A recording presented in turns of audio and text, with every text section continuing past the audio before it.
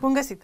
O săptămână în care, mai ales în prima parte, vrem să acoperim pagubele sau să câștigăm tot ce se poate în dreptul nostru și cu capacitățile noastre. Deci, mai ales în primele trei zile de, ale săptămânii, ne bizuim pe aturile noastre astfel încât să obținem în numele lor bunuri sau avantaje.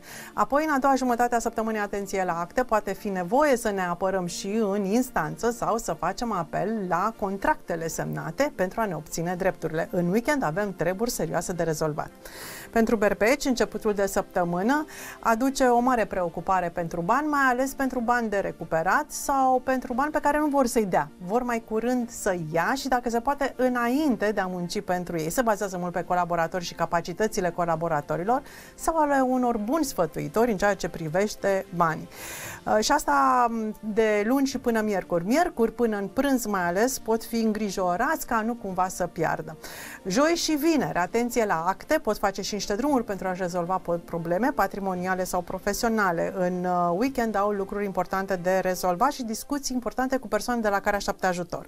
Pentru tauri, parteneriatele sunt subliniate toată săptămâna dar mai ales luni, marți și miercuri, discuții multe în legătură cu drepturi și obligații sau cu banii care ar trebui să le revină din uh, niște parteneriate. Nu toată lumea înțelege în cadrul acestui parteneriat în care Taurii funcționează, uh, nu și înțelege drepturile sau o lege după care funcționează, uh, la fel cum o fac ceilalți. Așa că e nevoie de clarificări la început de săptămână.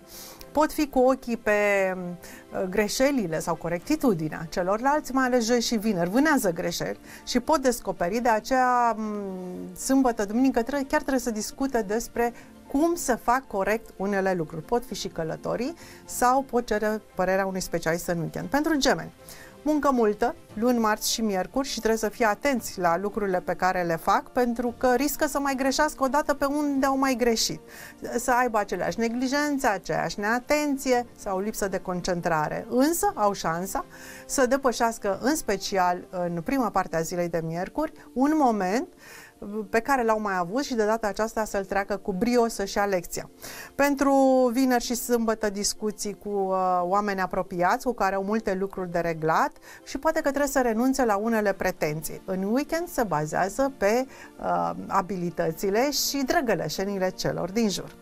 Racii foarte creativ și imaginativ luni, marți și miercuri, de aceea pot găsi soluții la niște probleme care acum, până acum păreau de nerezolvat, inclusiv probleme financiare și mai ales miercuri pot găsi soluții dacă își lasă cumva imaginația să le șoptească inspirat uh, ce trebuie să facă. Au mult de lucru și joi și vineri. Uh, e bine însă să fie atenți la anumite subtilități juridice, pentru că pot cădea sub incidența unei legi pe care nu o cunosc foarte bine și pot face niște greșeli, atenție și la acte și uh, este cazul să-și pună actele în ordine. În weekend, alături de parteneri și discuții tandre. Pentru lei la început de săptămână sunt foarte preocupați de interesul lor sau de siguranța lor. Poate că nici nu acționează, preferă să stea în umbră și să observe ce se întâmplă în jur, să se implice mai puțin pentru a-și menaja mai mult forțele. Mai preocupați de casă, de gospodărie sau de propria sănătate luni, marți și miercuri. Însă se înviorează de miercuri după amiază, joi și vineri sunt într-o mare formă și de aceea au chef să creeze, să imagineze, să vină cu soluții, să se bage în seamă, să se implice sau să facă lucruri care îi inspiră și care îi bucură. În tot cazul sunt energici în a doua jumătate a săptămânii și au chef de lucru și chiar și în weekend și sunt foarte gospodari. Fecioarele parcă stau numai în ședințe sau fac investigații luni, marți și miercuri. Au un fir și vor să descopere, să obțină răspunsuri, fie că e vorba de bani, de firul banilor, mai bine zis, de muncă sau de cine ce face în jurul lor și vor să știe. Pot face de asemenea și drumuri sau fac călătorii mentale, pentru că fac cercetări și culeg date. Uh, de aceea, joi și vineri sunt foarte concentrate să pună cap la cap ce au aflat și chiar să se scaneze, să vadă dacă le pică bine acum, uh, le este prielnic un anum, o anumită acțiune, să se implice sau să nu se implice în ceva. În weekend, activități de hobby. Pentru balanțe, un început de săptămână cu mare preocupare pentru bani, bani care n-ar trebui să vină cu efort, deci trebuie gândită uh, mai eficient munca și speculat mai bine aturile lor profesionale, astfel încât să câștige mai ușor. Aici le stă mintea și pot găsi soluții. Mai ales pentru că miercuri se gândesc că altă dată au pierdut pe mâna lor pentru că n-au știut să-și țină partea sau să-și respecte onorariul. Pentru joi și vineri călătorii și discuții.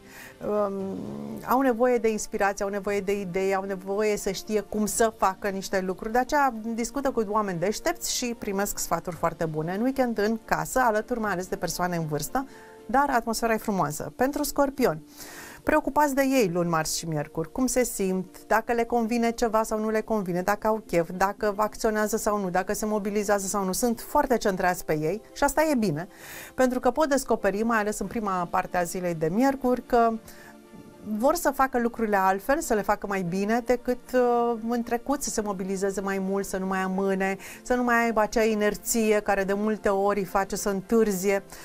Așa că sunt foarte activ, joi, vineri, sâmbătă, puși pe treabă, se gândesc la bani, știu cum să facă lucrurile ca să fie sportnici. Deci pot avea o săptămână grozavă dacă se mobilizează și chiar pot câștiga bani joi vineri. Sâmbătă, duminică pe drumuri, călătorii, vacanțe, voiaje, dar rămân pragmatici, cu bani puțin se pot distra sau pot face niște vizite la persoane cu care se consultă. Pentru săgetători, grijă pentru sănătate luni, marți și miercuri în prima parte. Uh, în tot cazul nu cheltuiesc nici energie, nici timp, uh, nici preocupare, nici suflet, nici creier pentru diverse lucruri. Preferă să stea în umbră, fie și încarcă bateriile, se extrag de la tot ce se întâmplă, fie urmăresc ce se întâmplă în jurul lor. Sunt mai activi însă joi și vineri, sunt într-o mare formă și au un argument pentru oricine. Poate că discuțiile cu membrii familiei sunt un pic mai aspre pentru că se eschivează sau uh, vor să facă lucrurile doar cum le pică lor bine, însă în weekend sunt spornici, sunt mai practici și mai adaptați la vremuri și la cerințele practice ale realităților. Pentru capricorni, prieteni, luni, marți și miercuri le-ar prinde bine o încurajare să se întâlnească, să vadă sau să se inspire. Și poate au nevoie în funcție de lucrurile pe care vor să le rezolve, să se uită un pic la alții care au trecut tot pe acolo și au avut succes, au rezolvat cu bine niște lucruri. Își iau niște inspirații, și au niște modele și discută cu oameni care au depășit niște situații dificile ca ei. Pentru joi și vineri uh, pot simți nevoia să facă voiaje, să iasă un pic din cotidian, dar în weekend sunt în formă. Vărsătorii au multe responsabilități luni, marți și miercuri, sunt puși pe treabă pentru că este un timp de acțiune și cumva se mobilizează să facă treabă bună, mai mult gândindu-se chiar dacă nu au chef, nu le pică bine, că mulți oameni poate depind de activitatea lor. Pentru joi și vineri însă sunt într-o formă grozavă, au idei noi, pot veni cu soluții interesante sau cu uh, proiecte, se gândesc ei la ceva și um, cumva prind speranță și încredere și în propriile forțe, dar și în activitățile lor. În weekend își încarcă bateriile. Peștii. Luni, marți și miercuri e bine să fie un pic atenți la acte, pentru că depind niște bani de asta, mai ales dacă au avut întârzieri, n-au plătit niște taxe, cineva îi trage de urechi, ei își dau seama sau poate îi atenționează cineva, important însă că află uh, de responsabilitățile pe, pe care ei le au și pe, trebuie să le bifeze. De aceea, joi și vineri pot alerga de la o instituție la alta pentru a-și rezolva aceste probleme administrative și chiar dacă n-au chef, dacă se țin de treabă, rezolvă și se vor felicita pentru că au evitat să întârzie prea mult. În weekend sunt alături de prieteni și mai ales persoane în vârstă sau cu experiență de, care, de, de la care primesc sfaturi bune, au multe uh, idei interesante de aflat.